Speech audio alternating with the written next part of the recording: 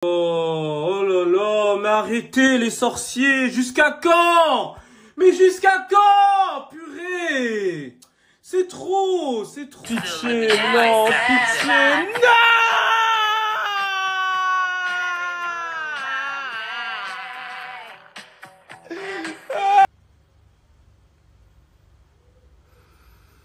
J'ai pris le temps avant de prendre la parole sur ce qui s'est passé hier. Ce qui s'est passé hier est une honte pour le football. Une honte pour le football. Je vais vous dire pourquoi.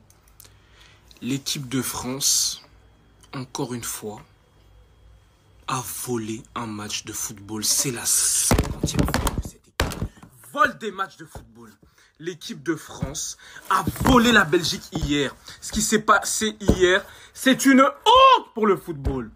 Une honte mondiale pour le football. C'est la honte qui s'est passé. Je ne parle pas avec les gens qui n'étaient pas au stade hier. Vous avez regardé le match à la télé sur Bein Sport. Ils vous ont montré les images qu'ils voulaient. Nous, on a vu de nos yeux. On était dans le stade. On était là. On les a vus de nos propres yeux. Voler la Belgique. On l'a vu de nos propres yeux.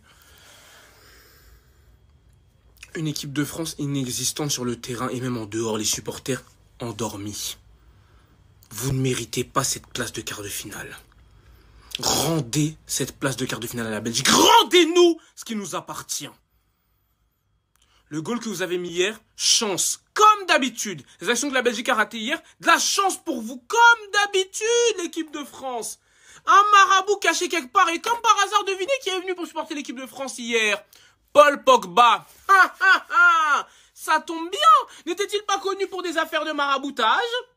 Et comme par hasard, quand il vient hier regarder l'équipe de France, vous avez une chance incroyable Un but incroyable sorti de nulle part, une frappe déviée, but Oh mon Dieu Comment ça se fait? Et on gagne sur ce but-là, et on célèbre, et on est content Bande de bonheur Et les Noirs et les Arabes, vous célébrez comme si le RN n'était pas en train de dominer votre pays. Voilà.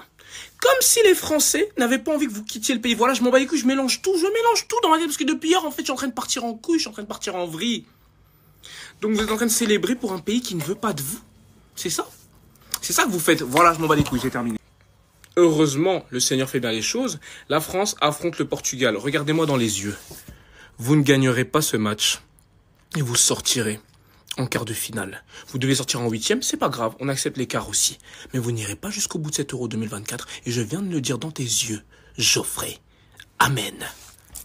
Oh, oh mais arrêtez les sorciers, jusqu'à quand? Mais jusqu'à quand? Purée!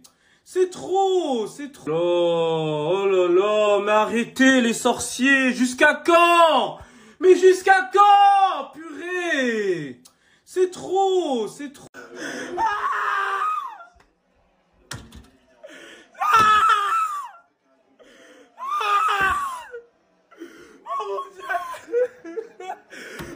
Everyone.